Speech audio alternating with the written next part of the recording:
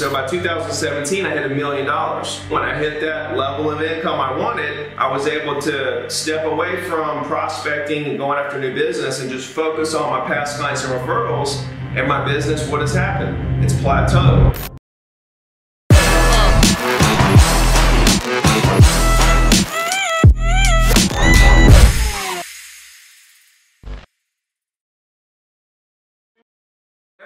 Wants to do a weekly email and sell 100 properties, but nobody wants to talk about the 100,000 calls I had to make. You know what I mean? Nobody wants to talk about that part. They just want to talk about the weekly email and the 100 deals. Oh, it must be nice to be you, Ricky. Must be nice to be you. Guys, most people couldn't walk five minutes doing what I do every day. Dude, I had 19 properties under contract when the storm hit. You know, and now I'm trying to piece these deals back together. I know I'm losing deals. I haven't put anything else under contract. I'm trying to get these deals to the closing table. There's properties that got damaged. There's sellers and buyers and sellers that are fighting. It's like a circus down here right now. You got insurance companies involved and it's, it's a mess. But when you when you mix everything I do in my real estate business with the fact that I answer every single Instagram DM, I'm coaching thousands of agents, I'm doing Zoom calls with you guys, I'm fixing a drive to a closing, I'm coming back to get on another call like this, you know what I mean?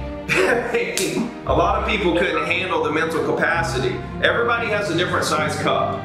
Your cup represents how much you can handle personally.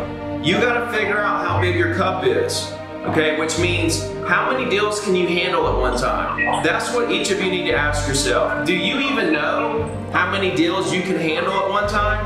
That's what you need to know, because if you don't know that, then that means that you haven't overwhelmed yourself with business enough to figure out where your breaking point is with how much you can handle. Once you figure out how much you can handle, then you gotta do what you gotta do to stay right there with as much as you can handle long term and then you'll reach your full potential. And it has nothing to do with how much production I'm doing, how much production anybody in your office is doing, how much production anyone's doing. No, none of that matters. All that matters is you. It's you versus you. You know what I mean? You guys are probably all in the building stage where you're trying to build your database. Here, here's what I see in the industry. And I talk to thousands of agents all the time. Agents will come into the business and they'll be very excited, they're hungry, they want to work hard, they want to do this, they're real motivated. And they work, work, work, they build their database up to a point where they make, let's say 150,000. They get to the 150,000 and then they say, oh yeah, you know, I'm good. This is just going to keep going and they stop doing the building the database part of the business, going after new business, making calls, doing the marketing, all that.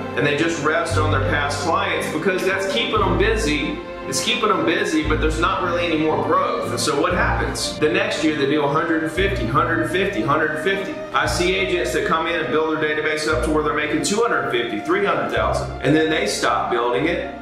They rest on their past clients and referrals. What happens? Their business plateaus. 300, 300, 300, 300. So what I'm saying is, is when you're in the building stage, you have to continue building that database up to the point of the income that you want every year. Once you hit that point of income, then you can rest on your past clients and referrals and maintain that level of income. So that's what I did. So in 2014, I did 100 deals. It was 600,000 in commissions. So as the market continued to go up, price-wise, my price point went up. I, I sold the same amount of properties, but I was making more money each year because the market was going up. And so by 2017, I hit a million dollars. So 2017, when I hit that level of income I wanted, I was able to step away from prospecting and going after new business and just focus on my past clients and referrals. And my business, what has happened? It's plateaued. A million, a million, a million, a million.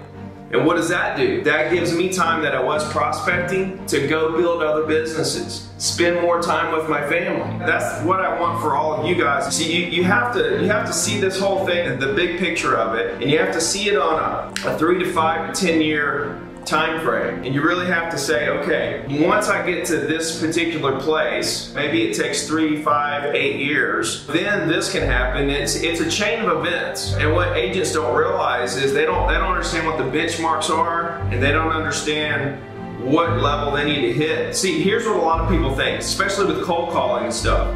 They're thinking cold calling? I don't want to cold call for the rest of my life. I'm not going to cold call forever. The thing is, is that once you've made an adequate amount of calls that yielded the adequate amount of relationships with property owners in the area, you don't have to make any more cold calls. You're, you're building it up to a point that you don't have to do it anymore. That's why you're working so hard to get to a point where you don't have to do it anymore. So it's, all about the clientele, guys, and building those relationships and getting that database up to a point. But remember what I said, you got to have a system on the back end that builds that personal brand. And for me, it's just a weekly email. People see me every week. I create the email every week. It's personable, it's heartfelt, it's informative, it's professional, it's consistent, right? So for me, the weekly email literally is my social media for real estate, my real estate business. It's a place where I post original, consistent content. With your content through your social media platforms or your, your emails or even like direct mail and you know, different things that you do, the consistency of it and the originality of it is what's going to, it's going to show them how much, how consistent, dependable, and hardworking you are. You know what I mean?